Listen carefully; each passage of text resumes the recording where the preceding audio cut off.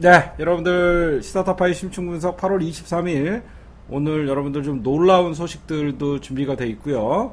오늘 문재인 정부의 직접 민주주의 언급한 이유는 이라는 내용으로 심층 분석을 해드릴 거고 문재인 정부 북미 사태의 해결을 위해서 나서고 있다. 아, 이거는 어떤 히든 카드를 갖고 있지 않냐. 요즘 미국의 트럼프의 발언 그리고 문재인 정부의 어, 미국의 어떤 어, 대결 양상의 과정에서 어, 코리아 패싱 이런 얘기가 나오면서 사실 어, 우리나라가 바쁘게 에, 여러분들 정부가 바쁘게 움직이고 있는 모습들이 사실상 비공개로 어, 진행이 되고 있는데 어, 확인은 되지 않고 있으나 어, 여러분들에게 어, 추측되는 어, 중요한 내, 어, 내용들을 좀 말씀드릴 거고요. 이거를 얘기해도 되나 안 되나 어, 저희 선배님이 말리고 저희 선배들은 말리고 있는데 우리 방송 뭐 시청자분들이 알아도 될 것 같고 어, 그다음에 오늘 여러분들이 새벽까지 한명숙 전 에, 국무총리의 출소식 만기 출소였죠.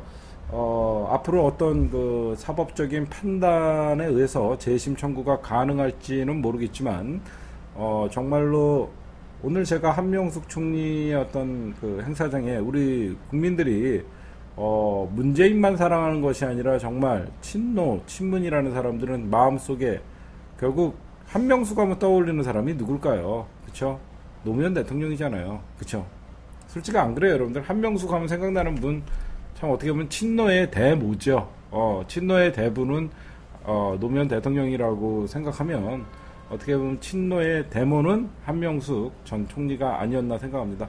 오늘 많은 분들이 그 의정부 교도소 앞에 예, 마중을 나오셨었습니다. 예, 제가 본 얼굴만 해도 이해찬 전 총리 그리고 진선미 의원, 유은혜 의원 어 그리고 또 누구죠?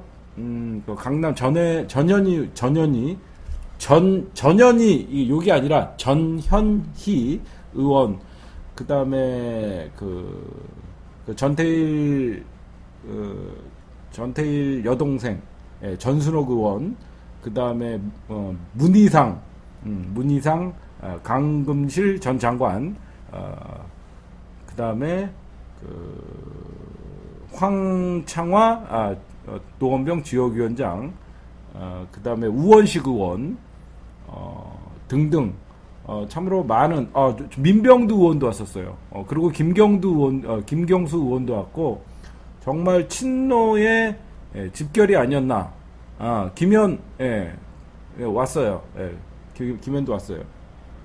그리고 친노의 집결이 아니었나 할 정도로 어, 요즘은 여러분들 어, 친노 친문이 구분이 좀 없는 것 같아요. 어, 친노 친문이 좀 구분이 없는 것 같아갖고 오늘 아 최민희 전 의원도 오셨고 어, 최민희 전 의원도 오셨고 어, 정말 보기 좋은 요즘 어떻게 보면 국회의원을 안 하시면서 가장 활동을 활발하게 하는 게 어떻게 보면 최민희 의원 같아요.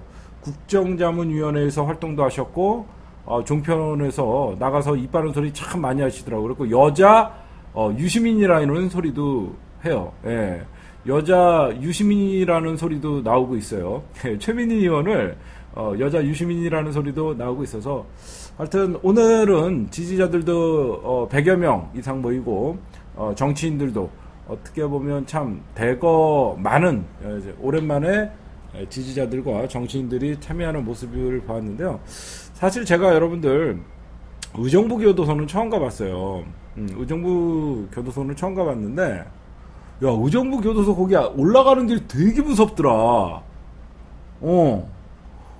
의정부 교도소 올라가는데요. 여러분들 이제 이게 쭉 어떤 도로를 달리다가 우회전하면 의정부 교도소라고 돼 있는데 어, 의정부 교도소라는데 그 교도소로 올라가는 길이 가로등 하나 없어.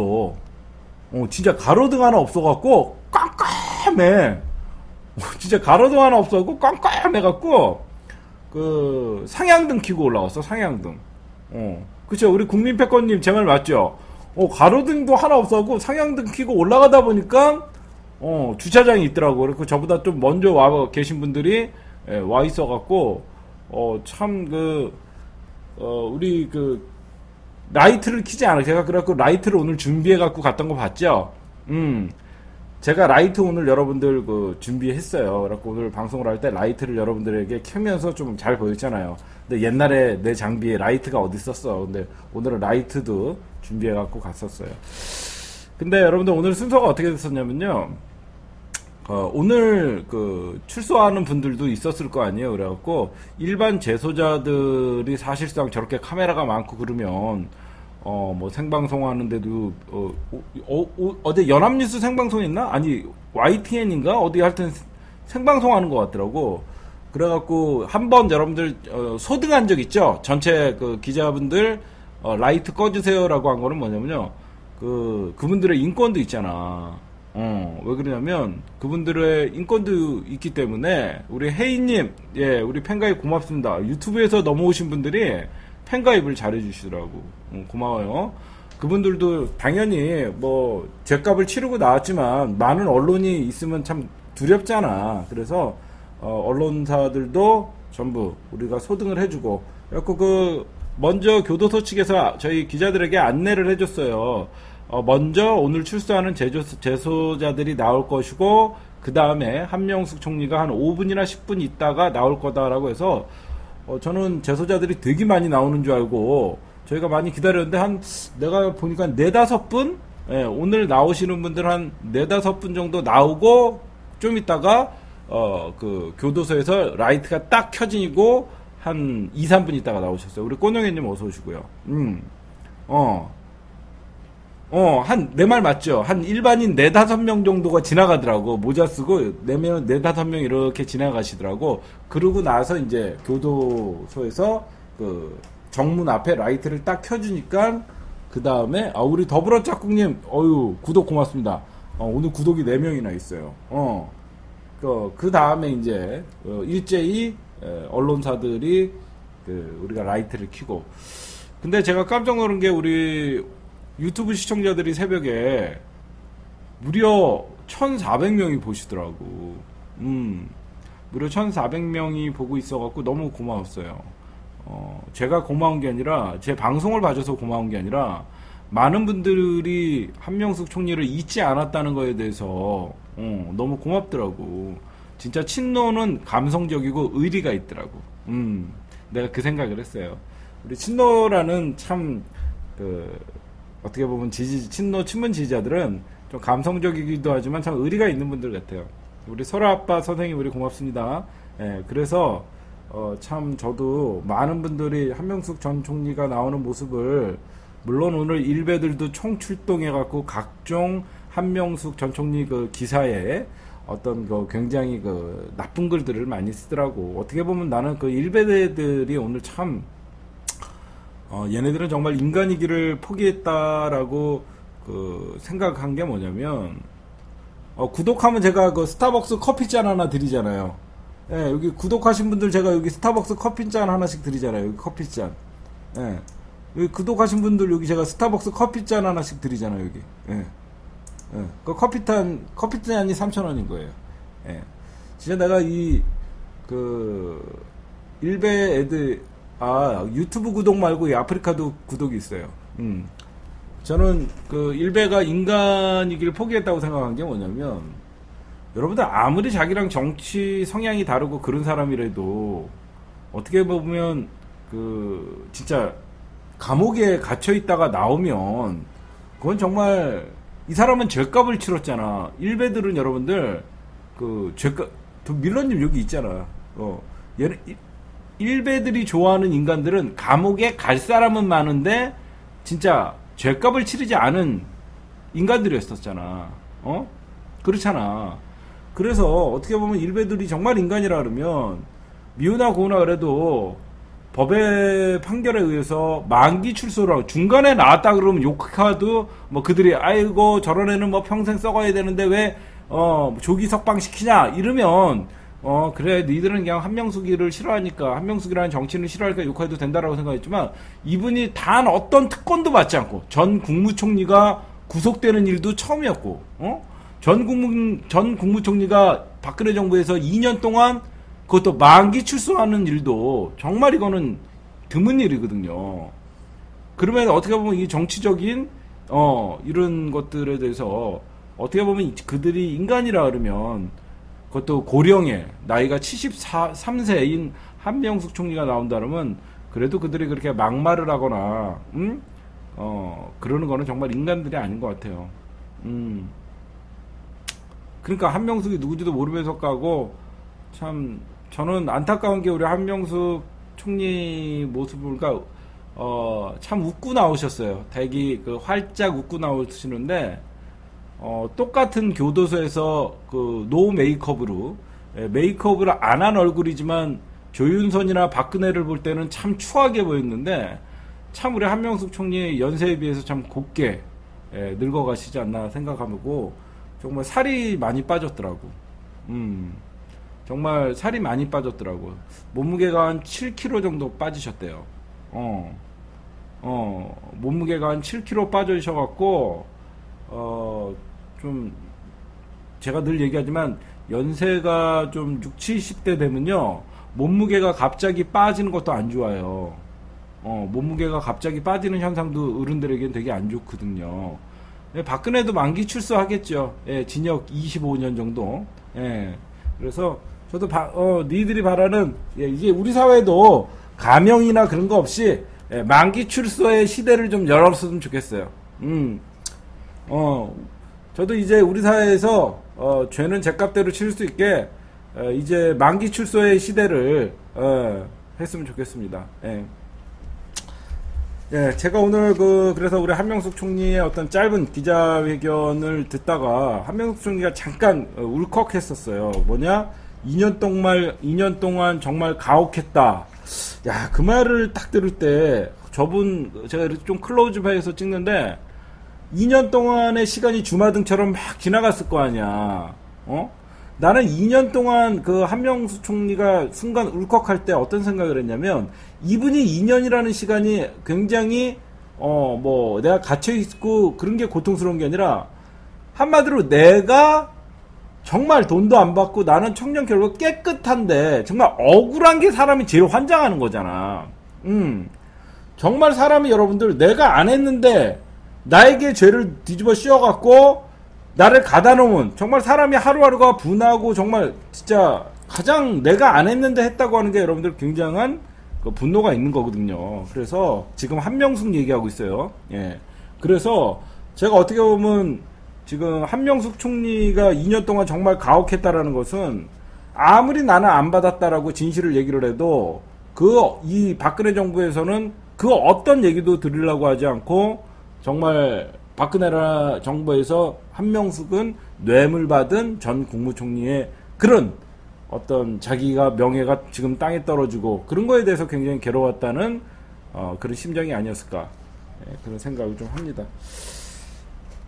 네, 제가 얼마 전에 박지원이가 점점 문 땡큐로 예, 변해가고 있다는 여러분들 말씀을 좀 드렸는데 오늘 박지원이가 어, 이런 얘기를 했어요. 한명숙 총리의 어떤 출소를 맞이해서 DJ도 한명숙은 가족이라 했다. 한명숙 출소 진심으로 환영한다. 이러다가 박지원 문바 되는 거 아닙니까? 예. 박지원 문바 어림도 없습니다. 예. 우리는 박지원이가 과거 어떤 짓을 했는지 다 알고 있습니다. 예, 점점 요즘 어, 박지원이 하는 발언들이 예, 예, 예, 어, 예사롭지가 않아요.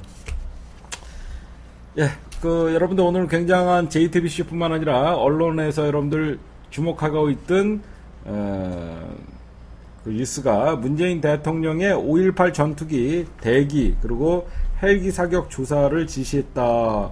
저는 이거 보면 여러분들 문재인 대통령이 이 지시를 하면 가장 정치적으로 난감한 사람들이 누굴까요? 어. 어, 문재인 대통령이 5.18 전투기 대기 헬기 사격 조사 지시를 했다. 이거는 전투적, 아, 전투적이란다. 정치적으로 가장 민감한 사람들이 누군가? 음, 전두환이라 그러면 아직 초보고 국민의당이라고 하면 정확히 본 거죠. 사실 여러분들, 국민의당은 전당대회를 앞두고, 국민의당 이제 전당대회 한 4일밖에 안, 남, 안 남았는데, 어? 국민의당 전당대회가 이제 한 4일밖에 안 남았는데 호남의 한 호남 가장 국민의당에서 그 문재인 대통령이 지지율이 저렇게 치솟고 있고 어떻게 보면 호남에 하는 5.18의 학살이었어요. 그렇죠? 5.18의 학살이었거든.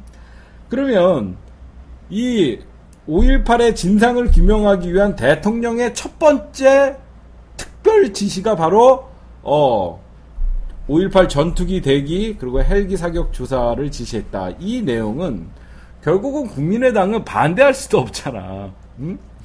국민의당은 반대할 수도 없고 문재인 대통령의 호남 지지율은 더욱더 치솟을 수밖에 없어. 왜? 김대중 대통령도 진실을 밝히지 못했고 노무현 대통령도 진실을 밝히지 못했는데 그들이 그렇게 열광하고 있는 문재인 대통령이 특히 문재인 대통령의 이 발언은 아주 갑자기 나온 발언이 아니에요. 문재인 대통령의 5.18의 진실이라는 발언은 과거 문재인 대통령이 후보 시절에도 5.18의 어, 그 헬기 사격 그리고 아직도 어떤 발포자에 대한 진상규명이 없다라는 것은 문재인 대통령이 과거에도 여러분들 어, 계속 말씀했던 거기 때문에 그 송영무 국방장관에게 특별조사 지시를 했다는 건 문재인 대통령이 첫 번째 특별조사 지시가 바로 국방부 장관 연 홍영무에게 어떻게 보면 5.18 전투기 네, 대기 헬기 사격 조사를 지시했다는 것은 어, 정치적으로 보면 국민의당이 어떻게 보면 문재 야당으로서 문재인 정부를 까면서 어떤 국민의당이 야당의 어떤 존재감을 보여야 되는데 문재인 대통령은 그 호남의 베이스를 갖고 있는 국민의당 입장에서는 가장 호남 정치인들을 지금 내각에 많이 입각시키고 있고 어 여러 가지. 정말 국민의당이 지금 어떻게 할 수가 없어. 문재인 정부. 까자니 지지율 다시 플러스 마이너스 어 5차 범위 안에 들어갈 것 같고. 문재인 대통령 지지율이 호남에서 98% 96%가 나온. 제가 보면 문재인 대통령도 좀 문제가 있는 것 같아요. 어떤 문제가 있냐면 어, 100% 박스권에 갇힐 경우에는 더 이상 올라갈 데가 없다 그러면 정말 지지율이 좀 올라가는 맛이 있어야 되는데 현재 문재인 대통령의 지지율은 어, 현재 어, 호남에서는 특히 호남 지역에서는 100% 박스권에 갇혀 있습니다. 네, 그러다 이제 문재인 대통령의 지시를 국민의당과 정의당은 환영을 했고요. 예, 바른정당에서는 예, 엉뚱한 소리 했습니다. 북핵 위협이 계속되는데 예, 엉뚱하게 어, 5.18 조사를 한다라고 하면서 지금 바른정당은 박정화 수석 대변인은 논평을 통해 불행한 과거에 대한 진실규명은 필요하지만 북핵 위협이 연일 계속되고 을지훈련인 한창인 때 국방부 장관에게 특별 지시가 적절한지 납득하기 어렵다. 언젠가 해야 할 일이지만 우리가 지금 처해 있는 한반도 상황이 그다지 여유롭지 않다라고 얘기했습니다. 바른정당에게 이런 얘기들을 해주고 싶어요. 언젠간 해야 될 일이지만 우리가 지금 처해 있는 상황이라고 얘기했는데 어, 여태까지 우리가 어, 5.18의 진실 그리고 발포 책임자가 아직도 밝혀지지 않았던 이유는 과거 본인들이 속해 있던 새누리당 더 나아가 한국당 그리고 민자당 그 다음에 민정당으로 출발했던 그 뿌리가 바로 당신네들이기 때문에 결국 아직도 5.18의 진실이 밝혀지지 않는 것은 대한민국의 수구 정당들이 어, 진실을 왜곡하고 덮고 결국은 그들의 어떤 전두환 일당들과 함께 아직도 정치권에 남아있는 전두환 세력에 의해서 우리는 단 한, 한치도 5.18의 진실을 밝히지 못했다라고 생각을 합니다. 예, 오늘 여러분들 그 자유한국당의 유석춘 혁신위원장이 이런 얘기를 했습니다. 박근혜 출당 논의 진행하겠다. 여러분들 굉장히 뉴라이트의 대표적인 어, 사람인 유석춘이가 처음에는 어, 친박을 위하고 어떻게 보면 굉장히 극우적으로 나가는 어떤 발언들을 많이 하면서 홍준표가 친박을 끼얹는다라는 어, 사실상 자, 자유한국당의 어떤 개혁은 물 건너가는 거 아니냐라고 얘기했는데 여러분들 어, 박근혜 출당을 논의를 진행하겠다. 이거 홍준표의 발언으로 시작해서 유석춘 혁신위원장이 받아치는 꼴이거든요. 홍준표가 먼저 과거 박근혜의 어떤 이런 뭐 친박들을 청산해야 된다는 뉘앙스의 발언을 하고 바로 혁신위원장이 받아서 박근혜 출당을 논의를 진행하겠다라는 이 말은 결국 뭐야 지금 현재 자유한국당에서 벌어지고 있는 일이 뭐냐가 뭐, 뭐죠, 여러분들? 당 대표에게 지방선거 공천권을 강화한다는 거예요. 특히 당 대표에게 지방선거 공천권 강화라는 카드가 뭐냐면 전략 공천을 늘리겠다는 겁니다. 그 결국은 홍준표의 의중대로 지금 자유한국당이 친박을 청산을 하고 결국은 아, 바른정당을 흡수하는 게 가장 자유한국당 입장에서는 최선의 방법이지만 어, 자유한 바른정당 같은 경우에는 자강론을 내세우고 있고 현재 바른정당과 자유한국당이 합쳐질 일은 없을 것이라고 전무 어, 내년 지방선거 이후라면 몰라도 지방선거 전에는 제가 볼 때는 절대 자유한국당과 바른정당이 합쳐질 일은 없다고 눈이 강조했고 만약에 연합이나 합당이 된다 그러면 국민의당과 오히려 바른정당이 더 가깝다고 여러분들에게 정치 분석을 해드린 적이 있, 습니다 그렇고 어저께 정, 치 분석인가 그저께 정치 분석에서 여러분들에게 이런 말씀을 드렸어요. 그러면 왜 자꾸 홍준표는 어, 이렇게 친박을 청산을 하고 자유 어, 바른정당에게 러브콜을 보내냐? 당연히 어, 자유한국당과 바른정당이 합당은 안 되더라도 어, 자유한 바른정당 안에서도 그리고 국민의당 안에서도 합당에 불만을 갖고 있는 세력들이 분명히 존재할 테고 바른정당이 만약에 국민의당과의 어떤 합당을 선언할 경우 바른정당에서 국민의당과 할 바엔 차라리 나는 자유한국당으로 돌아가겠다라고 생각하는 그러면 그 사람들이 한마디로 바른정당의 탈당파들을 다시 돌아올 수 있는 길을 열어주기 위해서 과거 친박 그들이 탈당했던 이유는 박근혜와 각 박근혜와 어떤 그 멀리하기 위함이고 어, 박근혜의 과거 자기의 새누리당이 속세에 있었다가 박근혜가 사실 창피해서 나간 거거든. 박근혜 때문에 자기네들과 정치 생명이 끝날까봐 도망 나간 거거든.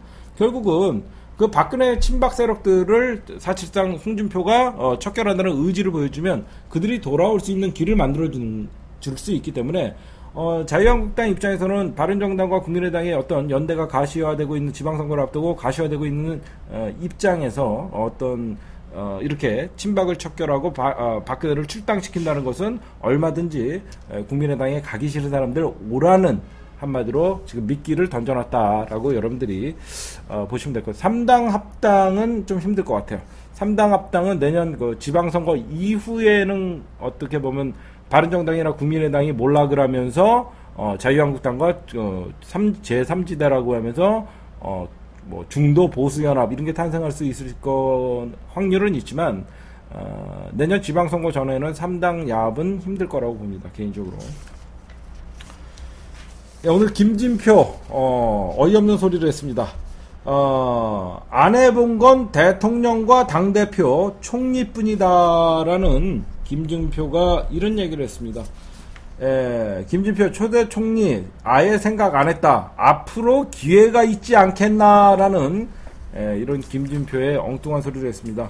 어, 종교인 과세 2년 제2회법 발의로 비판을 받고 있는 가운데 어, 대부분의 대형 교회 목사들이나 카톨릭 신부들은 수십 년 전부터 법과 상관없이 세금을 어, 내었는데 이런 분들과 정치인이 유착해 꼼수까지 써가며 세금을 안 내려 한다는 오해를 받고 있었고 어, 정말로 이런 어떻게 보면 더불어민주당의 부담이 되는 어, 김진표는 어, 그동안 국정자문위원회에서 뭐 열심히 일한 거는 인정해 주겠습니다. 어, 이제는 조용히 박수 칠 때 떠나는 정치인이 됐으면 좋겠습니다. 예, 정동영 얘기 좀 할게요. 국민의당의 정동영 어, 오늘 어, 안철수를 향해서 좀쓴 어, 말을 했죠. 리베이트도 안철수 측근들 암투 때문에 발생한 일이다. 사실상 그 박선수 그리고 김수민 어, 의원의 어떤 그 국민의당의 어떤 4.13 어, 총선 이후에 어, 그 공천 리베이트 파문이 일어났을 때 그때도 사실상 안철수 계로 뽑히고 있는 두 사람이 연관이 돼 있었고 결국 법정에서는 예, 무죄가 났지만 그 사실상 그 굉장히 국민의당을 그 혼란으로 가중시키는 역할을 했던 게 사실 안철수계로 뽑히는 사람들이었죠. 어, 이 점을 어, 꼬집어 갖고 정동영 의원이 어, 리베이트 안철수 측근들 암투 때문에 발생했다라고 얘기하는 것은 결국 이번 어, 문준영 씨 문재인 대통령 아들 취업 특혜 조작 사건 국민의당에서 증거를 조작해서 어, 대통령 아들을 이렇게 모함하고 문재인 대통령을 비방하려는 것도 결국은 안철수에게 충성 경쟁을 하기 위해서 권력의 암투 때문에 생긴 거 아니냐는 사실상 뉘앙스를 풍기고 있고 중요한 것은 오늘 이런 얘기를 합니다. 어, 아유, 나왜 자꾸 얘기하는데 눈이 감기지? 예, 나도 천정배도, 나도 천정배도 결선 나가면 서로 지원할 것이다. 라는 이 말의 뉘앙스가 뭐죠? 어, 나나 천정배나 안철수와 만약에 어, 이 안철수가 1차 투표에서 50%를 못 받을 경우에는 우리는 당연히 반 안철수계로 간다는 건 뭐냐? 사실 여러분들 지금 여론조사를 돌려보면 어, 정동영이가 2위로는 유력을 해요. 그러니까 먼저 자기가 어, 1위 어, 천정배보다는 어, 2위의 어떤 그 2위가 될 확률이 많죠. 왜 그러냐면 정동영은 적어도 여러분들 아무리 이빨 빠진 호랑이라도 과거 대선 후보였잖아. 과거 대선 후보로 해서 아무래도 천정보회보다는 인지도가 높은 건 사실이죠. 그래서 어떻게 보면 정동영이 좀 어, 2등 싸움에서 유리한 고지를 겪고 있기 때문에 어, 만약에 어, 결승을 간다면 어, 나도 천정배를 돕겠다라고 먼저 얘기함으로써 천정배가 거부하기 힘든 정치적 선수를 선빵을 날렸다라고 여러분들이 보시면 될 것 같습니다. 예, 더불어민주당의 정당발전위원회가 제가 늘 좀 걱정을 한다라고 얘기하면서 이 정당발전위원회가 생기면 분명히 더불어민주당이 내분이 좀 있을 것이다라고 하면서 개파 간의 갈등도 생길 것이다라고 여러분들 어, 제가 좀 말씀을 드렸었는데 어, 오늘 민주당에서 어떤 이 정치 더불어민주당이 사실상 어, 당청의 관계가 굉장히 중요하고 민주당이 이렇게 삐그덕거리면 안 되고 사실상 이제 더불어민주당은 어, 주류와 비주류를 떠나서 모두가 친문이고 모두 80%가 그 넘는 문재인 정부의 지지를 보낸다는 것은 많은 국민들이 지금 친문 친노가 돼가고 있다라고 제가 말씀을 드렸죠. 지금 더불어민주당 안에서도 이렇게 특별하게 개파 싸움이 나오지 않고 개파의 어떤 분쟁이 안 보였던 이유 중에 하나가 문재인 정부의 사실상 지지율이 그 한몫을 했다고 저는 생각을 합니다. 그렇기 때문에 문재인 정부가 지지율을 이렇게 유지할 수 수 있는 이유 중에서도 어, 당이 어떤 개파 싸움이 없고 당이 어떤 모든 사람이 주류가 되는 친문 진영이 되는 어떤 여태까지 정당이 잘 이끌어 왔었는데 정당 발전위원회가 일어날 경우 만약에 발족될 경우는 약간의 잡음도 있을 수 있다라는 생각을 말씀을 좀 드렸죠. 어, 이런 어떻게 보면 많은 분들이 민주당을 사랑하고 문재인 대통령을 사랑하는 많은 분들이 이런 어, 걱정을 어, 정당에서 들었는지 어, 정당발전위원회의 어떤 초대 위원장 최재성 의원이 사실상 이제 정당발전위원회에서는 당원 당규에는 내년 지방선거에 당원 당규에는 전혀 개입할 의도도 없고 개입하지 않겠다라고 얘기하면서 어, 지방선거와 관련한 당원 당규 해석과 지방선거를 준비하는 시행 세치기에 대해서는 어, 전혀 과, 어, 관여를 하지 않겠다라고 하면서 그 대신 민주당에서 지방선거 기획단 내년 지방선거가 아직 1년도 채 남지 않고 다가옴으로써 어, 내년 지방선거는 어떤 룰로 그리고 어떤 새로 세팅을 할 것인지 지금 더불어민주당의 지방선거 어, 기획단을 구성하기로 하면서 어, 사실상 정당발전위원회에서 어, 문제가 됐던 어떤 잡음이 봉합되는 어, 모습을 보이고 있다라고 여러분들에게 좀 말씀을 드리고 싶습니다. 그리고 여러분들에게 하나 참고 사안으로 여러분들 좀 말씀드릴 게, 게 있습니다. 어, 여러분들 잘 들으세요. 내년 지방선거에 결국 내년 지방선거에서 민주당의 선거는 어, 권리당원의 비중이 그리고 권리당원의 권리가 굉장히 여러분들 세질 거예요. 그러면 내가 그러면 어떻게 권리당원이 되고 여러분들 마음에 들지 않는 여러분들이 정말로 싫어하는 각 지역구의 의원들이 어, 어 신배들이 뭐 추종하는 세력들이나 어 신배들이 늘 무슨 뭐뭐 개 뭐 그런 사람들 여러분들 그동안 신배들이 문재인 대통령을 어떤 식으로 비난했고 친노를 어떻게 비난을 했고 여러분들 어떻게 보면 국민의 의사는 뒤에서 욕을 하는 것이 아니라 선거 그리고 그 주권자인 권리당원이 심판을 하는 게 저는 가장 빠르다고 생각해요.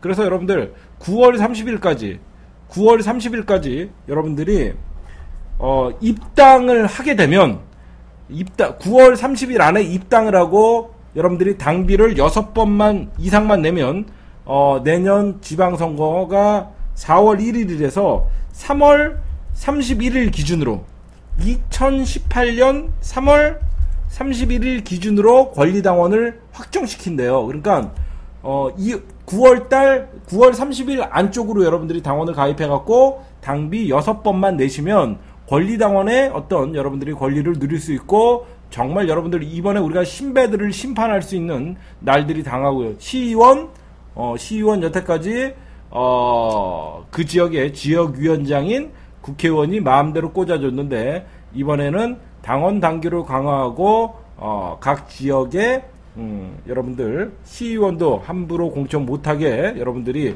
정말로 예, 9월 30일 이전에 여러분들 특히 그 어디죠? 그 인제군 지역구 어디죠, 여러분들?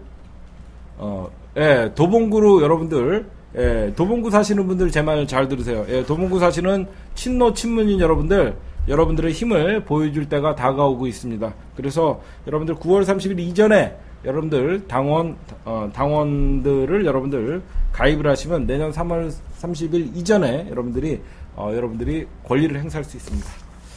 야 그래서 이렇게 어, 떻게 보면 어, 정당 발전위원회가 어, 정, 내년 지방선거를 앞두고 어, 당원 당규를 손대는 거 아니냐는 어떻게 보면 지역 위원장들의 반발이 있었고 결국은 최두성 위원장은 정당발전위원으로 어, 오늘 박광원, 한정혜, 박김경수, 박경리, 이재정 의원과 어, 이재정 의원 등을 임명을 했어요. 일각에서는 친문 위원들이 너무 많다라는 소리를 하자 여러분들 제가 이런 얘기를 해주고 싶어요. 어, 지금 어떤 인사를 임명을 해도요. 야, 다 친노야. 다 친문이야, 대부분. 어? 대부분 친노야. 아, 친문이야. 안 그래? 국민 80% 이상이 친문인데, 아니, 어떤 의원들을 임명해도 친문이 많이 안 낄 수가 있어? 그러니까 니들이 그렇게 비주류라는 소리 들리는 거야. 아직도 친문 진영이 너무 많다. 이런 불만을 할 때가 아니라, 어, 아, 이제 우리 모두가 친문이구나. 이제는 더불어민주당에서 친문이니 비문이니 하는 소리는 없어져야 된다고 생각해요. 왜 그러냐면, 더불어민주당 정권이고 결국은 더불어민주당에서 민주인 정권을 탄생했다 그러면 더불어민주당 자체에서 친문이니 비문이니 이런 말이 나오면 안 돼요. 상식적으로 생각하면 안 그래? 지네 민주당 정권이라고 문재인 대통령은 문재인 정권이 아닌 문재인 어, 민주당 정권이라고 주장하는 문재인 대통령에게 당내에서 친문이니 비문이니 이런 말들이 나오면 돼요. 그건 말이 안 되죠. 그래서 저는 민주당 자체가 현재 어, 민주당의 승리로 문재인 정권이 탄생했다는 것은 결국 민주당 의원들 자체가 친문 진영이다라고 여러분들 그렇게 생각하는 게 더욱더 민주당과 그리고 정당 정 당과 청와대의 관계가 훨씬 좋아지지 않을까라는 생각을 합니다. 지금까지 시사타파가 준비한 음, 단신이었어요. 여러분들 단신인데도 좀 어, 하루에 일어났던 어떤 뉴스들을 좀 풀어서 그냥 읽고 넘어가는 게 아니라 이 단신의 행간을 여러분들에게 찾아서 얘기해주고 이 단신 이면에는 어떤 뉴스가 있다라고 얘기하니까 여러분들이 단신을 들었지만 사실상 뉴스의 전반적인 좀 맥락이 보이실 거예요. 예, 이어서 예, 노래 한 곡만 듣고 여러분들 1번 문재인 대통령 직접 민주에 언급한 이유에 대해서 여러분들에게 말씀드릴게요. 문재인 대통령께서 얼마 전에 그 국민 보고 예, TV에서 생중계했던 거기에서 직접 민주주의라는 말을 언급하고 어, 야 3당이 일제히 문재인 대통령에게 퍼퓰리즘이다. 아니면 어, 뭐 국회 패싱이냐 이런 식으로 문재인 대통령을 어, 일제히 비난을 했어요. 그럼 여러분들이 잘 생각을 해보면 어? 문재인 대통령이 어떤 그 이 직접 민주주의라는 말을 언급한 이유가 무엇일까 여러분들이 좀 생각을 해봐야 된다는 거야. 음. 어떤 의미가 있을까요? 어. 어. 문재인 대통령이 직접 민주주의라는 말을 언급한 이유는 여러분들이 생각할 땐 어떤 의미가 있을까요? 음. 한 두 가지로 나눌 수 있어요. 한 두 가지. 음. 국민과 소통? 음. 정치에 참여해 주세요. 음. 다 맞는 말이에요. 다 맞는 말인데 제가 좀 전문가적으로 정치적으로 분석을 해드리면 첫 번째 문재인 정권은 촛불을 이어받은 한마디로 촛불이라는 거야. 국민들이 직접적으로 대통령 물러나라고 외치면서 박근혜 대통령을 탄핵시켰거든요. 그러니까 어떻게 보면 국민이 직접적으로 정치 참여를 해서 박근혜라는 대통령을 물러났기 때문에 문재인 정권이 탄생했다는 것은 국민의 직접 민주주의를 실행하는 정권이다라는 어, 의미가 있고 예, 두 번째 의미가 되게 커요. 뭐다? 여소야대의 전국에서는 잘 생각해봐요. 여소야대의 전국에서는 문재인 대통령이 사실상 많은 개혁 입법들을 국정과제 100대 과제 중에서도 60개 이상이 어떤 국회의 동의를 얻어야 되는 어 그런 그 난제들이 있는데 결국은 여소야대의 전국에서 어 사사건건 어 야당과 대립할 수밖에 없고 사사건건 발목을 잡힐 수밖에 없는 이 시점에서 직접 민주주의를 언급한 어, 문재인 대통령이 했다는 것은 국민들이 오히려 어떤 법안에 대해서 국회에서 문재인 정권의 100대 법안, 어, 100대 현안 과제나 이런 것들에 대해서 국회에서만 논의하지 말고 국민들에게도 한마디로 어, 신고리 원전 오류키기 같은 신고리 원전 오류키기 같은 공청회를 통해서 그쵸? 공론화 위원회를 통해서 한마디로 신고리 원전의 문제도 어떻게 보면 우리가 어, 직접 민주주의라고 볼 수 있죠. 정부나 어떤 조사 기구나 어, 이런 사람들끼리 해갖고 된다 안 된다 과거 정권 같이 정부에 힘 있는 사람들이나 전문가들끼리 모여갖고 이거 된다 안 된다라고 얘기할 수 있지만 신고리 원전 주민들이 참여를 하고 그 시민 어, 거기 지역의 주민들의 의견을 듣고 사실상 신고리 원전을 폐지할 것인가 아니면 계속 가동할 것인가 결국 문재인 정부가 어, 앞으로 문재인 정부에 있을 많은 개혁 입법들에 대해서 야당이 발목 잡을 게 뻔하고 그런 야당이 발목 잡힐 때마다 국민들에게 이런 법안이 있습니다라고 하면서 사실상 대국민 홍보를 통해서 야당을 압박할 수 있는 큰 힘을 갖고 있었다는 거죠. 그렇죠? 이게 무슨 말이냐? 야당이 아무리 반대해도 국민들에게 어떤 법안에 대해서 정부가 설명을 하고 이 법안이 통과됐을 경우에 before after를 설명해 주면서 어떤 국민들에게 많은 비전을 제시해 주고 이 법안이 꼭 통과돼야만 하는 이유를 예전 과거 우리가 사실 어떤 법안이 통과된다 그래갖고 국회에서 어떤 법안이 통과됐는지 사, 많은 사람들은 알지 못했어요. 법안이 통과된 다음에 이 법이 통과되면 우리에게 어떤 영향이 미친다라는 사실상 대의민주주의 즉 간접민주주의하에서 국민들의 정치 참여의 기회가 사실상 많이 어, 줄어든 건 사실이었죠. 결국 문재인 정부는 어, 여소야대의 국면에서의 타겟책으로 생각한 게 결국 야당이 발목 잡을 게 뻔하고 문재인 정부에서 수많은 개혁 입법 과제들을 사실상 어, 넘어서야 하는데 어, 문재인 정부가 직접 민주주의를 언급한 자체가 결국은 야당의 발목 잡기를 할 때 국민들에게 더욱더 어, 이 법안구 그리고 문재인 정부가 왜 이 법안을 통과시켜야 되는 명분 그리고 어, 설명을 해줌으로써 국민들의 지지 여태까지 문재인 정부가 과거 박근혜 정부와는 다르게 소통의 정부 그리고 국민들에게 하나하나 보고하는 형식으로 어떤 법안을 설명했을 경우에는 문재인 정부가 어떤 개혁에 있어서도 큰 탄력을 받을 수 있기 때문에 왜 반대를 하려고 해도 국민들이 찬성을 하면 야당에서도 뻘쭘하게 되잖아. 이해가 가요, 여러분들? 어떻게 보면 문재인 대통령의 승부수라고 봐야 돼요. 어떻게 보면 문재인 대통령의 처음 이 말 일자리 늘린다는데 추경마저도 발목 잡는 그런 현상을 보면서 문재인 정부가 과연 추경도 통과시켜주지 주지 않는 이 국회를 무엇을 믿고 개혁을 진행할 수 있냐라는 그런 생각을 할 때 문재인 대통령의 직접 민주주의를 언급은 어떻게 보면 야당의 발목 잡힐 잡을 게 뻔한 가운데 어, 정면 돌파를 시사를 하는 거고 일제히 야당은 포퓰리즘이다 아니면 국회 패싱이다 이런 식으로 문재인 정부를 일제히 비난하는 거예요.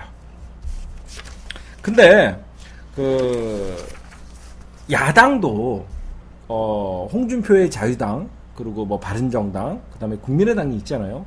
이 야당도 직접 민주주의에 대해서는 아주 크게 반대. 겉으로는 지금 뭐 문재인 정부가 퍼퓰리즘이다 이런 식으로 계속 국회 패싱이다 이런 식으로 비난은 하지만 실질적으로 지네들이 과거에 어떤 그 직접 민주주의를 하겠다고 홍준표도 공약을 했죠. 어 어, 내년 대, 내년 그 지방선거에 개헌을 국민투표에 붙이겠다. 여러분들 직접 민주주의의 대표적인 게 뭐죠? 바로 국민투표예요. 어. 직접 민주주의의 가장 기본적인 게 여러분들 국민투표예요. 국회에서 아무리 개헌을 통해서 어떤 정책을 만들고 그래도 그 개헌안을 국민들에게 붙여 최종 결정권자 국민투표를 하는 게 뭐야? 국민 주권을 실현하는 거예요. 어, 아무리 니네가 국회에서 만들어도, 야, 우리가 싫어! 그럼 그 법안은 국민투표에 붙인다는 것은 그 법안은 안 하겠다. 그러니까 문재인 정부에서는 정말 필요한 법안에 대해서는 어, 국민투표라는 정면 돌파를 시도할 수도 있다라는 뉘앙스를 여러분들이 봐야 된다는 거예요. 음, 이해가 가세요? 어, 그래서 과거 홍준표도 개헌안에 어, 국민투표 개헌안을 얘기하는 것은 홍준표도 어떻게 보면 그리고 온라인 당원에 여러분들 정당 직접 참여를 하잖아. 온라인 당원들이 정책 참여나 어떤 뭐 정당의 어떤 뭐 의견을 제시하는 거 이것도 여러분들 점점 직접 민주주의로 가는 거거든요. 특히 박근혜 정부에서도 사실 초기에는 국민 소통 뭐라 그러면서 청와대 홈페이지에 만들어갖고 정책 제안을 받은 적이 있어요. 그래서 과거 어, 새누리당에서도 어, 점점 시대가 변하고 있고 직접 민주주의를 그 우리나라뿐만이 아니라 전 세계적으로 국민 참여형 정치가 음, 전 세계의 추세죠. 어, 여태까지 우리가 정치인들에게 모든 걸 맡겼더니 내 삶이 나아지는 건 없고 사실상 정치인 배불려 줬다라는 많은 어, 국민들이 자괴감을 빠지고 그랬기 때문에 점점 사실상 우리가 이 박근혜 촛불 과정도 사실 직접 민주주의의 완성의 단계를 여러분들이 보셨다 그래야 돼요. 그렇잖아. 박근혜 물러나라 물러나라 이게 여러분들 우리 수, 1700만의 추운 겨울에 많은 국민들이 이게 어, 그냥 허공에 떠들었던 공허한 메아리가 아니라 그 국민들의 직접적인 목소리를 듣고 결국은 어, 국회의원들이 박근혜 탄핵이라는 카드를 꺼냈고 결국은 국민들의 요구가 한마디로 국민들의 정치 참여에 의해서 정치권이 돌아가는 직접 민주주의를 우리가 어느 정도 실현을 하지 어, 실현을 했기 때문에 문재인 정부는 이런 국민들의 요구에 의해서 탄생한 정부였고 그래서 국민들의 목소리를 더욱더 듣는다는 것이죠. 그래서 문재인 정부가 여소야대의 전국에서 결국은 이 난관을 헤쳐나갈 수 있는 것은 어, 어 모든 어떤 그 100대 개혁과제 아, 어, 안에서도 어, 수십 개, 60개 이상의 어떤 국회의 동의를 얻어야 되는 이런 법들이 국회에서만 논의하지 말고 국회에서만 논의해 왜 여러분들 잘 들어봐요. 문재인 대통령이 왜 국민 직접 정 어, 제도나 이런 국민 투표나 국민들에게 더욱 더 소통을 강화한다는 뜻이냐면 아무리 좋은 법안도 잘 생각해봐요. 아무리 좋은 법안도 국회에 넘어가면 어떻게 돼? 어. 이게 국민들이 보면 진보와 보수의 여러분들 잘 생각해봐. 국민들에게 기초연금을 올려준다고 해. 청년 수당을 기초연금을 올려준다 그러면 노인들이 혜택을 받잖아. 청년 수당을 올려준다 그러면 청년들의 혜택을 받잖아. 아이들의 아동 복지 수당을 올려준다 그러면 우리 애기 키우는 엄마들이 정말 직접적인 해당을 받잖아. 그러면 국민들 입장에서는 어떤 어 복지 형태 복지라는 것은 국민들에게 직접적으로 혜택이 오는 거예요. 어? 근데 이 좋은 복지 제도를 국민들에게 직접 설명할 경우에는 아 어떤 사람들이 혜택을 보는구나 라고 생각을 할 수 있지만 이 좋은 법안들이 국회만 올라가면 어떻게 되지? 정치적으로 변해요. 이해가 가시죠? 왜 문재인 대통령이 국민과 직접적으로 소통을 하려고 하는지 이해가 가시죠? 아무리 좋은 의도로 법안을 만들고 아무리 좋은 의도로 어떤 거에 대해서 밀어붙이려고 해도 이게 국회만 넘어가면 여야의 정략적인 판단에 의해서 줄다리기가 끊임없이 이어지고 어 국민을 위해서 정치를 하는 게 아니라 문재인 대통령은 국민을 보고 정치할 때 이 국회의원들은 야당의 국회의원들은 문재인을 보고 정치를 하니까 지지율이 올라가지도 않고 결국은 어 저런 말이 나오는 거예요. 이게 어떤 복지나 이런 것들에서 정부가 어떤 재원 방안이나 이런 것들을 다 상세하게 만들어 갖고 보고를 해요. 근데 희한한 게 저분같이 이 좋은 법안이 국회에 넘어가면 재원은 어떻게 만들 것이냐 사사건건 정략적으로 비판하게 된다는 것이죠. 어, 예, 우리 위민님 스티커 100개. 어우, 이거 쓸데없는 거 주지 마세요. 예, 이거 돈도 안 되는 거 이거 뭐하러 뭐하러 주세요. 어, 괜히 돈 쓰지 마세요, 저거. 스티커 저한테 아무 필요 없어요. 예. 그래서 여러분들 결국은 문재인 대통령이 어떤 이런 어, 직접 민주주의를 얘기한 것은 어, 국민과 직접 소통을 하고 어떻게 보면 여소야대의 전국을 헤쳐나가기 위한 하나의 예, 방편이다. 어, 충전을 잘못하셨구나. 예. 두 번째, 음, 그러면 여러분 잘 들어봐요. 어, 어, 있길래 드렸어요. 예, 뭐든지 주시면 좋아요. 예. 그럼 여러분들 잘 생각해봐. 여기서 여러분들 또 공감되는 얘기를 해. 예, 이런 게 좋습니다. 예, 이런 게 좋아요. 문재인 정부가 여러분들 왜 국민에게 더 소통하고 국민에게 더 많은 정책을 설명을 하려고 할까요? 여러분들 잘 생각해 보세요. 문재인 정권에서 왜 국민에게 오히려 국회와 타협을 해야 될 문제도 왜 국민에게 더 설명을 하고 왜 어떤 정책에 대해서 많은 것들을 의견을 구할까요? 음. 음. 왜 그럴까요, 여러분들 생각할 때? 기레기? 스티커 900개 저게 별풍선이면 얼마나 좋냐. 아유, 아까워라, 씨.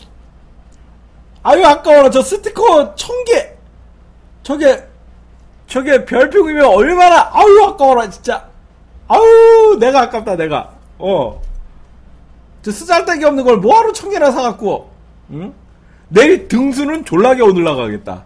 어. 내일 등수는 졸라게 올라가겠다. 음. 혹시 잘못 충전하신 거 아니에요? 어. 어, 우리 위니님 혹시 잘못, 어, 잘못 충전하신 것 같아. 예. 또, 아프리카 TV 여러분들, 이렇게 국민과의 소통을 가, 강화하려는 이유가 뭐냐? 참여 정부의 한마디로, 그, 학습 효과예요. 음. 참여 정부의 학습 효과에 의해서 한마디로 여러분들 잘 생각해봐 노무현 대통령 때 엄청난 좋은 개혁 법안이나 이런 것들을 발표했을 때 제대로 국민들에게 설명 못할 때 조중동이 선제적으로 작업을 해갖고 대통령이 어떤 직접적인 개혁안을 국민들에게 설명하지 못하고 엄청난 어, 여론이 악화되면서 참여정부가 굉장히 여러분들 그, 어, 그 특히 대표적인 게 뭐다? 종부세. 그치. 종부세. 이게 그때 옆에 있었던 비서실장이었던 문재인 대통령이 여러분들 뭘 느꼈겠어? 어? 종부세 문제는 정말로 우리나라 진짜 상위 부자들에 해당하는 일이지만, 어? 상위 해, 어, 부자들에게 해당하는 일이지만 많은 국민들이 내가 세금을 더 낸다고 착각을 하면서 이 좋은 법안마저도 후퇴할 수밖에 없었던 그렇잖아.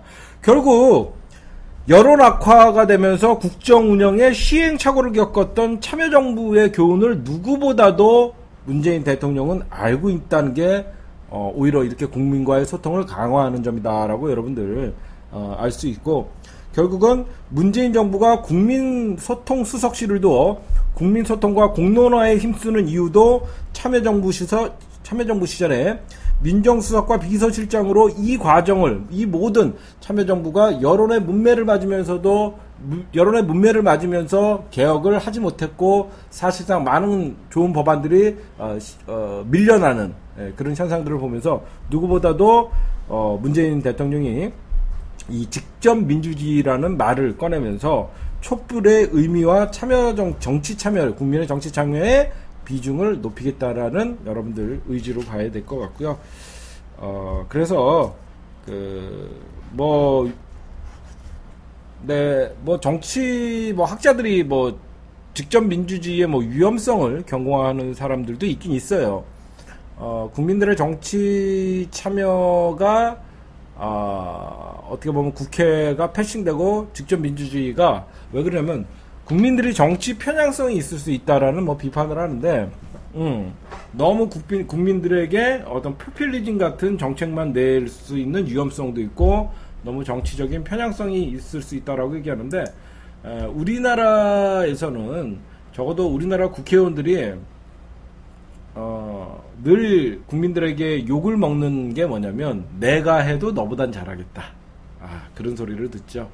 어, 박근혜가 특히 많이 들었죠. 내가 해도 너보다는 잘하겠다. 그래서 국민들이 오죽하면 직접 민주주의를 어, 외치는지 예, 국회의원들은 좀 반성을 했으면 좋겠습니다.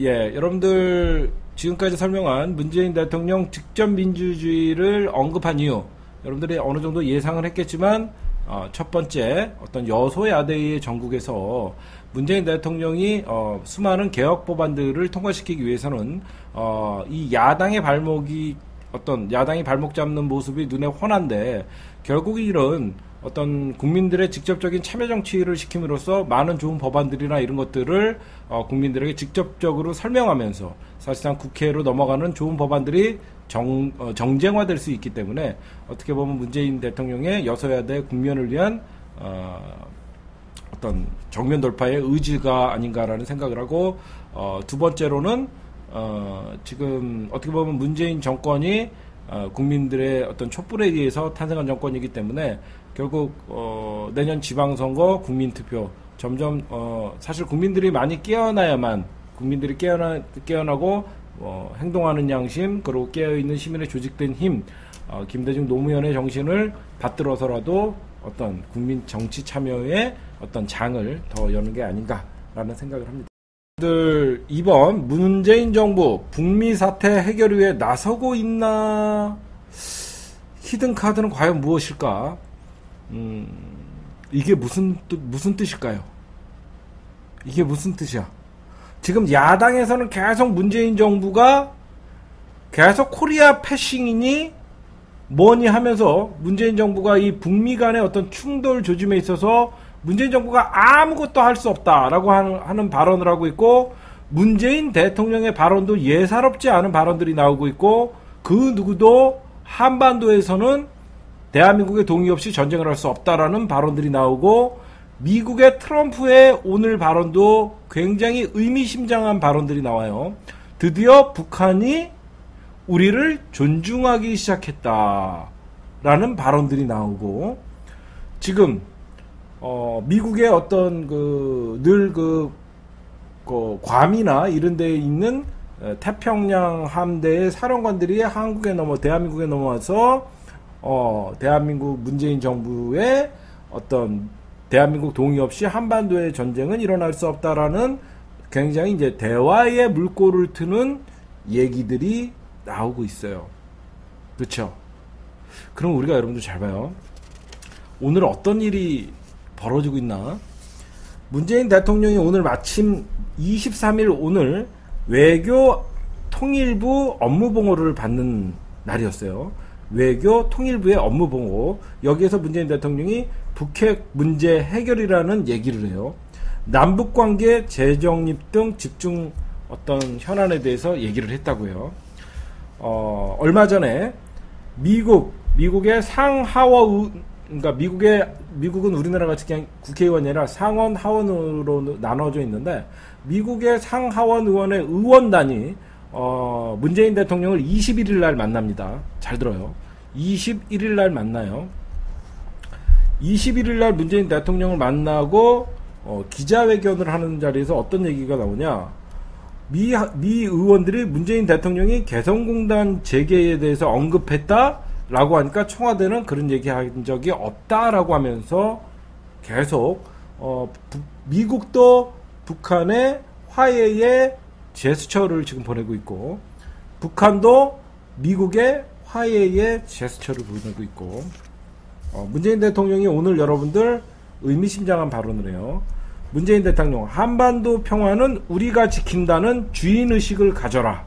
오늘 회의에서 통일부 봄 왔을 때 씨 잘 잘 뿌릴 수 있도록 준비하라.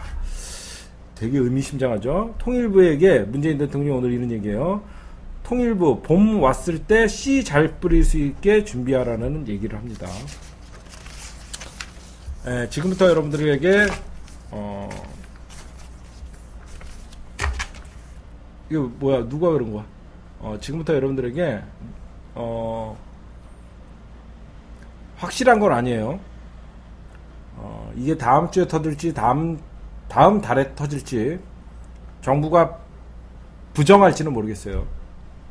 어떤 일이 벌어지고 있냐? 어, 우리 기자들 사이에서 지금 무슨 일이 벌어지고 있냐? 어, 지금 문재인 정부가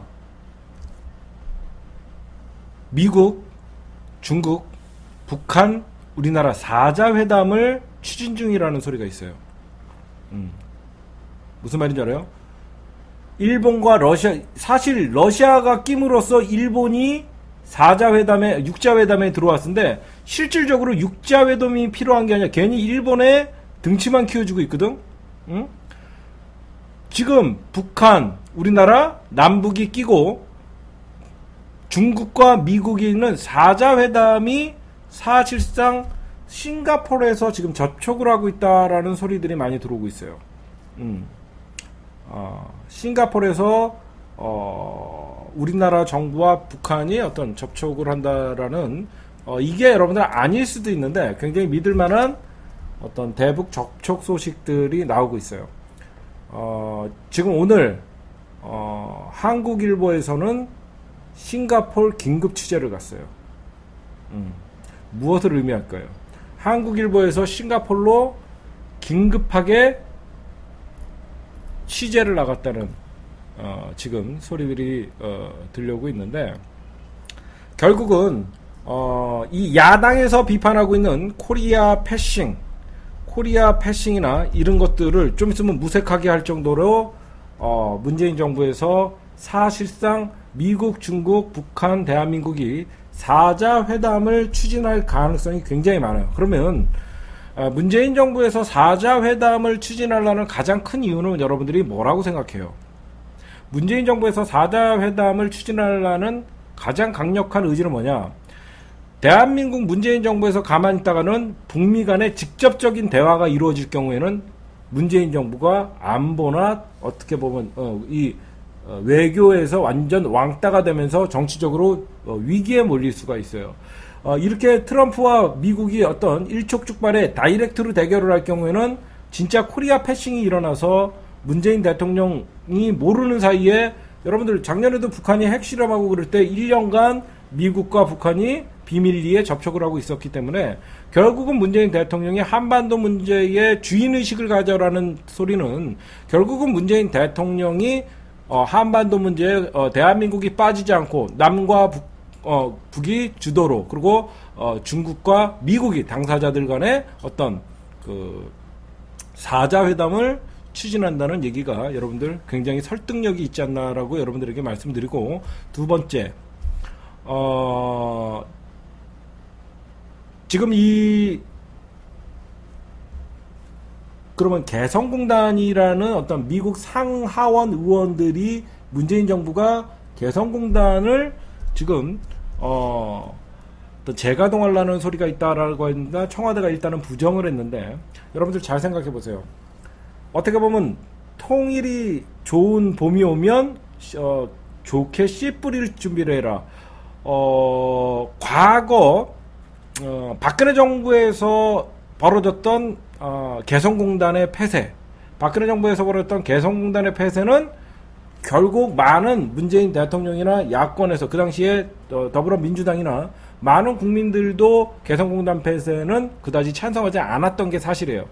그래서 어떻게 보면 남과 북 그리고 중국과 러시아 이 사자 회담을 할 때 사실상 무역 어 국제적으로 제재를 받고 있는 북한 입장에서는 남북의 개성공단이 사실상 문재인 정부에서 개성공단을 재가동할 경우에는 북한에게도 숨통이 트일 수 있고 미국에게도 어떤 어, 북핵의 동결이나 어떤 북한과 미국이 다이렉트로 어떤 평화 평화 수교를 맺는다든가 이럴 경우에는 한반도가 어, 대한민국이 굉장히 문재인 정부가 외교 안보의 무능 정권이 일어날 수 있기 때문에 지금 여러분들이 중요한 건 무엇이다?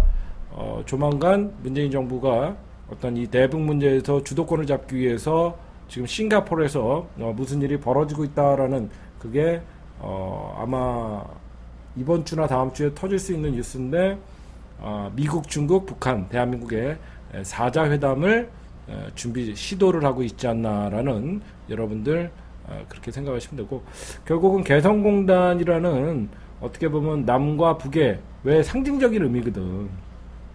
개성공단이 만약에 재가동될 경우에 휴전선 근처에서 휴전선 그 근처에서 일촉즉발의 상황이 벌어질 일은 없잖아. 왜 그러면 개성공단이 있, 음으로써 남과 북의 최전방 부대들이 30km 이상은 후방으로 빼야 되니까. 그래서 남과 북도 이명 박근혜 정부에서는 강대 강으로 사실상 어, 그게 치달았는데 적어도 문재인 정부에서는 어, 북한과의 어떤 대화 위주로 평화 정착을 하기 위해서라도 어, 당사자인 남과 북이 모이고 북한과 미국이 모여서 북한과 미국이 결국은 북핵 문제는 사자회담에서 어떤 담판을 짓고 거기서 우리나라가 빠지면 안 되겠지. 중국과 우리나라는 어때요? 이게 왜 사자회담이 중요하냐? 미국과 북한은 북핵 문제에 대해서 담판을 짓고 우리나라와 중국은 사드 문제에 대해서 담판을 짓고 굉장히 신의 한 수 아니야? 그렇잖아.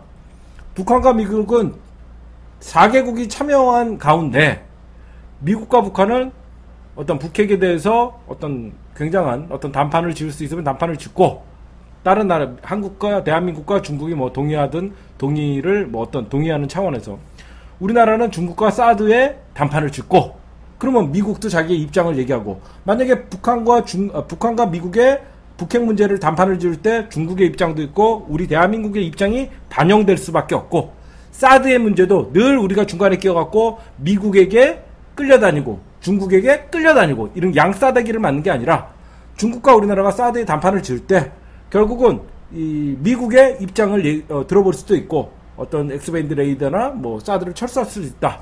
그리고 북한의 입장도 들어보고 이 사자 회담이 어떻게 보면 문재인 정부의 어, 북핵 문제 그리고 대북 문제의 신의 한 수가 될 수도 있지 않을까. 결국은 야당이 나중에 이 문재인 정부의 코리아 패싱 이런 문제를 무사 무색하게 할 정도의 어떤 어, 지금 싱가포르에서 어, 사자 회담이 시도되고 있다는 어떤 어, 정보가 있는데 에, 확실한 정보는 아니에요. 에, 확실한 정보는 아닌데 믿을 만한 정보가 될 수도 있는 것 같고 조만간 북핵 문제에 대해서는 문재인 정부가 무기력하지 않다는 여러분들 한간 뭔가를 하고 있어요.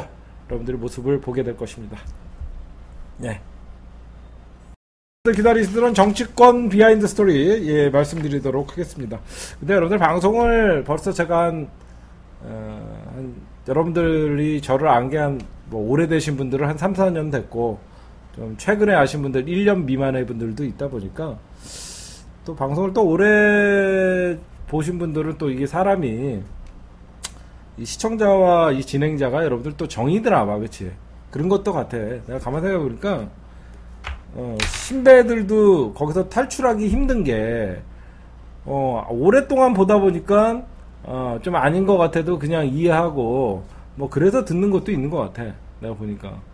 음 그래서 어, 여러분들도 어쩔 때 만약에 오늘 처음 어 오늘 처음 온 분들이 내 방송을 보면 좀 이상하게 얘기하는 어, 이, 이상하게 생각하는 분들도 있을 수 있을 텐데 여러분들이랑 저랑 어느새 그 몇 년이라는 그 세월을 같이 보내다 보니까 아 이제 우리가 물론 이 온라인이라는 채팅창을 통해서 음?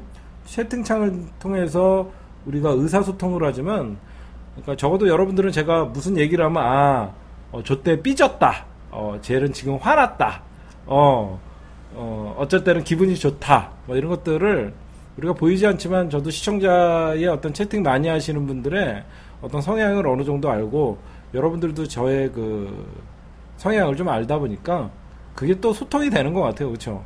어, 좀 그게 또 그 소통이 되고 그러다 보니까 또땐좀 아니다 싶은 것도 그냥 넘어가고 서로 그런 게 있는 것 같아요, 제가 보니까. 예. 다 보이는 것 같아요, 여러분들도. 그쵸? 저를 다 아는 것 같아요. 그래서 어쩔 때 무서워요. 어, 저도 여러분들이 어쩔 때 무서워. 아, 내가 이, 지금 이 얘기를 하면 내가 지금 화가 났어. 근데 나, 내 좀, 이렇게 좀 가식적인 얼굴 표정이나 그런 걸 잘 못해요. 음. 여러분들 방송 나 진행하면서 그냥 열받으면 또, 딱 봐도 얼굴에, 어우, 저도 지금 열받아갖고 저거, 어? 또 삐졌네. 여러분들 보면 알잖아. 좀, 또 사람이 좀 이렇게 포커페이스가 되고 그래야 되는데, 그 좀 저도 그게 티가 너무 나서 좀 저도 좀 어쩔 땐 그 좀 포커 페이스가 되고 싶은데 좀 그런 게 있어요. 음. 예, 정치권 비하인드 스토리. 음, 오늘 최근에는 여러분들 좀 몇 개 얘기했고 음.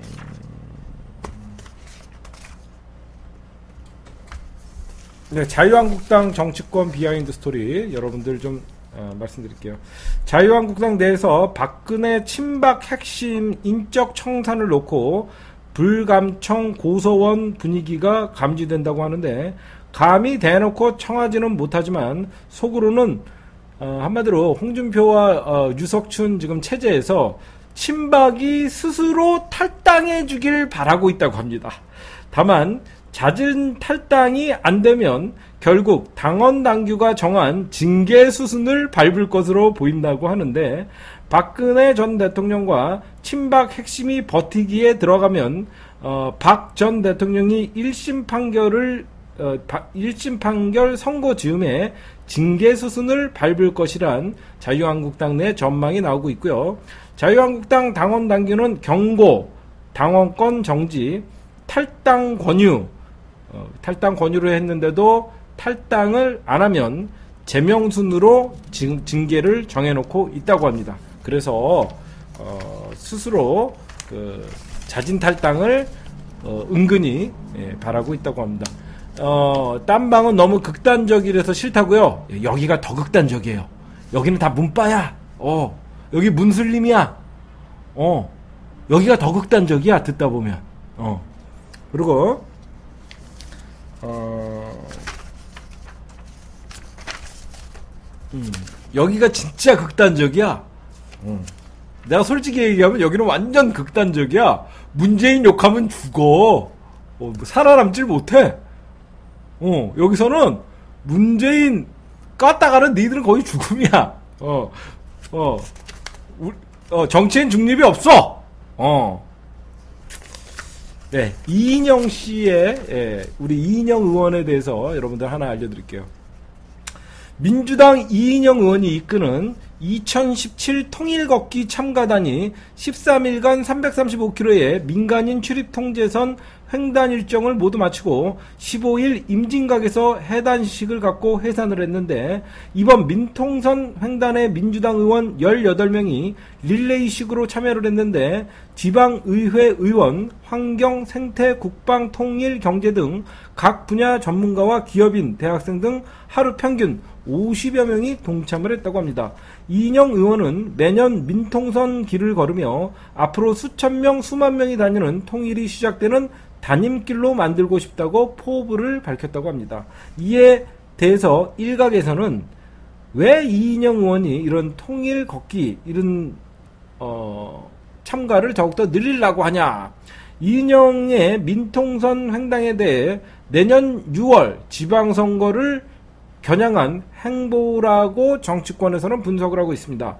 이인영 의원은 현재 박원순 서울시장, 추미애 민주당 대표, 박영선, 우상호 등과 함께 여권 내 서울시장 후보군으로 꼽히고 있는데 이인영 의원이 개헌과 통일 문제 등에서 목소리를 내면서 자신의 입지를 차별화시키는데 주력하고 있다고 민주당 관계자는 얘기합니다. 한마디로 이인영 의원은 정치 경력에 비해서 다른 동료 의원들에 비해서 상대적으로 어떤 정치적으로 이슈를 밟거나 어, 존재감이 부족하기 때문에 내년 지방선거를 위한 포석이라고 여러분들 얘기가 나오고 있습니다.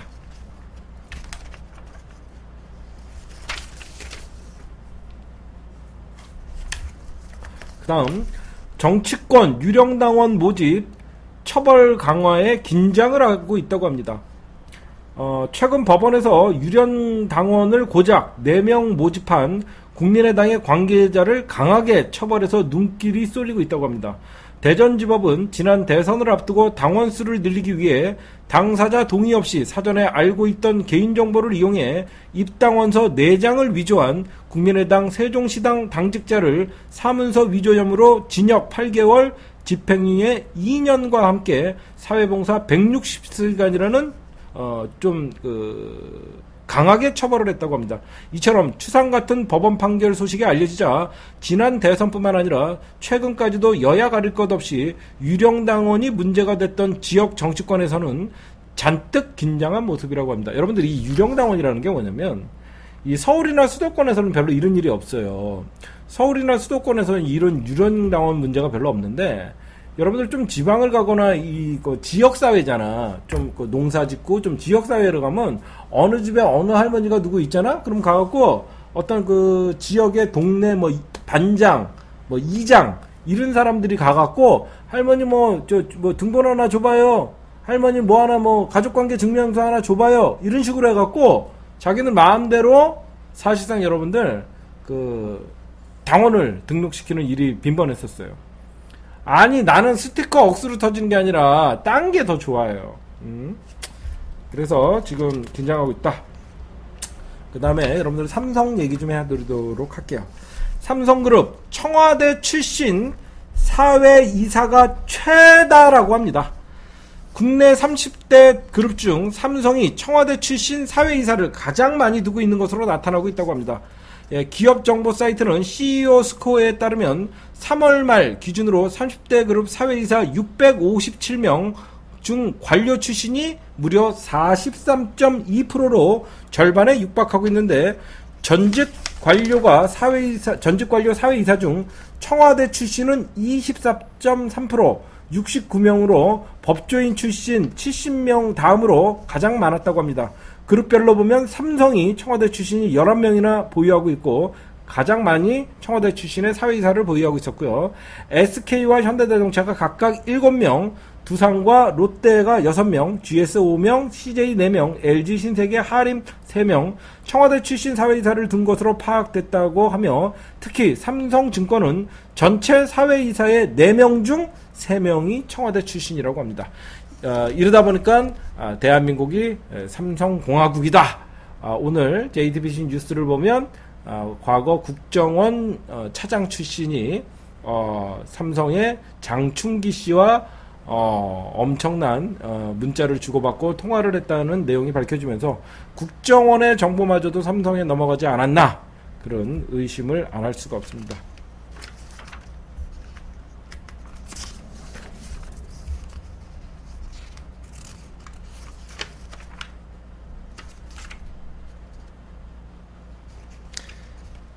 음, 아, 요 재밌는 거 하나 알려드릴게요. 네, 우리 고맙습니다, 위원님. 오뚜기, 입방아 오르는 별칭들. 오뚜기가 총수의 상속세 납부와 지속적인 기부 활동 등을 이유로 온라인에서 미담 기업으로 입소문을 타면서 가뚜기라는 별명까지 얻었는데 그런 오뚜기의 또 다른 별명이 붙여져 세간의 입방아에 오르고 있다고 합니다. 짠뚜기란 별명이 그것입니다. 여러분들은 가뚜기까지는 알았죠? 이번에는 짠뚜기라고 나온다고 합니다. 어, 짠뚜기가 뭐냐? 임직원들의 연봉이 주요 식품 기업들 중 가장 짠 것으로 나타나면서 오뚜기의 별명이 또 다른 짠뚜기라고 나오고 있다고 합니다. 최근 오뚜기가 금융감독원에 제출한 올해 반기 보고서에 따르면 올 상반기 어, 올 상반기 보고서에 따르면 임직원의 1인당 평균 급여는 1,800만 원 어, 1인당 평균 급여는 임직원 1인당 어, 평균 월 1,800, 1,800만 원 연봉으로 치면 3,600만 원인데 임원들 연봉까지 합쳐 평균을 낸 금액이니 사원이나 대리급이 받는 연봉 이보다도 나, 어.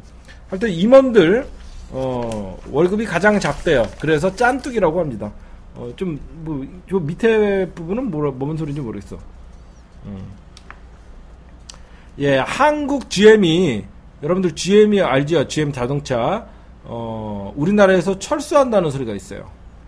지난달 초 의사를 밝힌 미 한국 GM 제임스 김 사장의 후임으로 GM 인도 어, 인도 카르엔 카잼 사장이 선임됐다는 소문이 돌면서 한국 GM이 바짝 긴장하고 있다고 합니다. 한국 GM의 차가 CEO가 철수설 진입하기 바로미터가 될 수 있었기 때문이라고 합니다. 카잼 사장은 인도 부임 당시 강도 높은 구조조정을 단행한 인사로 결국 GM은 올해 5월 인도 시장 철수한, 철수 및 현지 공장을 매각을 했다고 합니다. 인도 시장에서 구조조정을 주도한, 주도한 카잼 시장의 부임설은 한국 GM의 위기설을 한층 더 고조시키고 있다고 합니다. 한국 GM은 이미 오래전부터 철수설과 생산 거점설 등에 시달려왔고 최근에는 GM 본사가 군산 공장 철수를 확정했다는 이야기까지 나오고 있습니다.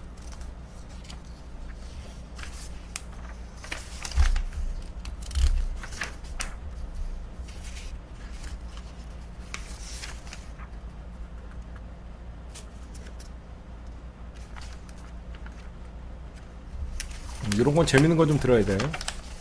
BC카드, BC카드 카드 발급 신청 몰리는 이유.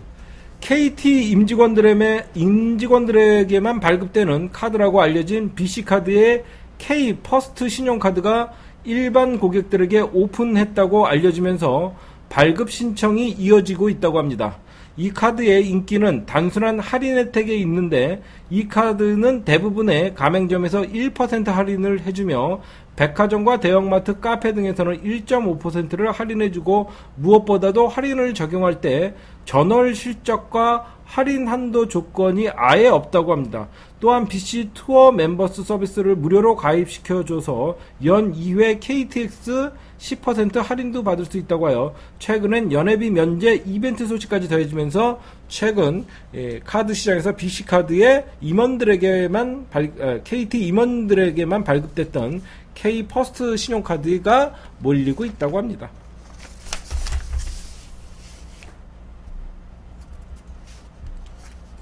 네, 그 다음에 관과 얘기하고 오늘 방송 예, 정치권 비하인드 스토리는 여기까지만 할게요. 장관들 여의도에 둥지 틀기 한창 이게 무슨 말이냐? 문재인 정부가 출범하고 나서 각 지역에 있던 사람들이 장관으로 배치되면서 서울이나 경기도에 거주하지 않는 사람들이 가까운 여의도에 어떤 그 둥지를 튼다라는 뜻이고요. 새 정부 출범 이후 국회 소통이 중요해지면서 세종시에 있는 각 부처 장관과 고위직 고위 공직자들이 서울 여의도 주변에 둥지 틀기가 한창이라고 합니다. 한마디로 정부 청사가 세종시에 있다 보니까 청사는 정부에 있는데 국회와의 협조적으로 일할 게 굉장히 많다 보니까 여의도에 따로 어떤 둥지를 틀고 있다라는 여러분들 내용이고요. 문재인 대통령 임기 초기 청와대 업무보고와 100대 국정과제 추진 등을 위해 국회 소통이 강화되면서 세종시로 이전한 정부 부처 장관들의 서울 살림이 본격화되고 있다고 합니다.